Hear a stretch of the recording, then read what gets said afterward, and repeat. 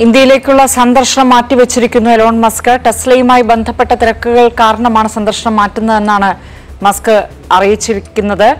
വിവരങ്ങളുമായി റോബിൻ മാത്യു മറ്റത്തിൽ നമുക്കൊപ്പം ചേരുന്നുണ്ട്. റോബിൻ മുന്നൂറ് കോടി ഡോളറിന്റെ നിക്ഷേപമൊക്കെ മസ്ക് ഇന്ത്യയിലെത്തുമ്പോൾ ഇവിടെ ഉണ്ടാകുമെന്ന് പ്രതീക്ഷിച്ചിരുന്നു. ഇപ്പോൾ വരവ് മാറ്റിവെച്ചു എന്നുള്ള അറിയിപ്പ് എന്താണ് പറഞ്ഞിരിക്കുന്നത്?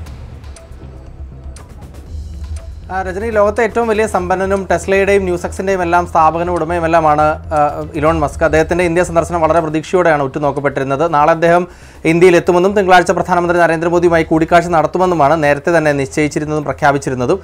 പക്ഷെ പക്ഷേ അതിപ്പോൾ എന്തായാലും ആ, മാറ്റി വെച്ചിരിക്കുകയാണ്. നാളെ അദ്ദേഹം എത്താനിരിക്കെ അദ്ദേഹം തന്നെ ഇപ്പോൾ ആ വിഷയം സ്ഥിരീകരിച്ചിട്ടുണ്ട്. തനിക്ക് ടെസ്ലയുമായി ബന്ധപ്പെട്ട് ഒഴിവാക്കാനാകാത്ത ചില തിരക്കുകൾ ഉള്ളതിനാൽ ഇപ്പോൾ ഉടൻ തന്നെ ഇന്ത്യയിലേക്ക് എത്താൻ കഴിയില്ല എന്നതാണ് ഇലോൺ മസ്ക് ന്യൂസ് എക്സിൽ ആ, പ്രതികരിച്ചിരിക്കുന്നത്.